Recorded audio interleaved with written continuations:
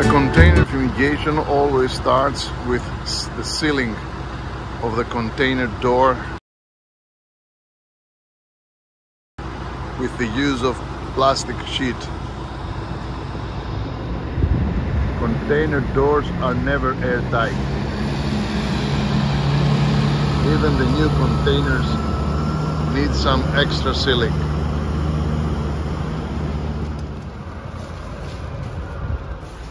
Over here we have the containers to be fumigated, now being sealed. And nearby we have placed the gateway right inside of this door. In this case, our gateway is very close to the containers under treatment of a distance of 20-30 meters only. Now we turn the sensors on one by one.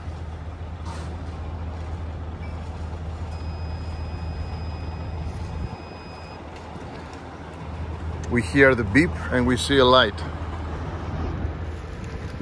We check the platform online. Four sensors are already connected.